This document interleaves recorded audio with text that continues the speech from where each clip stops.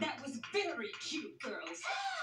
In fact, it's too cute. You're out. it's too cute a stupid idea. And I hate you too. Let's see who's next. SpongeBob SquarePants. Oh, SpongeBob SquarePants. SpongeBob. I guess he's not here. It's too bad he was good. But who could replace a dancer of such high caliber? Eh, only the best dancer in Bikini Bottom. Really? Well, I'll be the judge of that.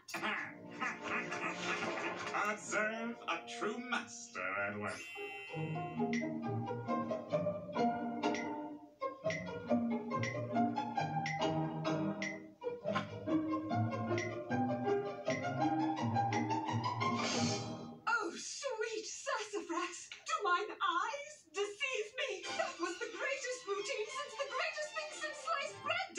Dancing. Congratulations! You got the gig. Oh, baby, I knew it. You won't be sorry you made this decision. I don't think you'll be sorry either, because you'll be dancing in Squilliam's shows. Well, don't just stand there. Get the sand out of your leotard and dance for me, nitwit.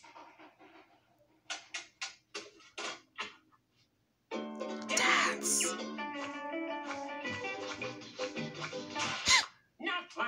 That, kelp for brains. You call that dancing? Do it like this. Here I go.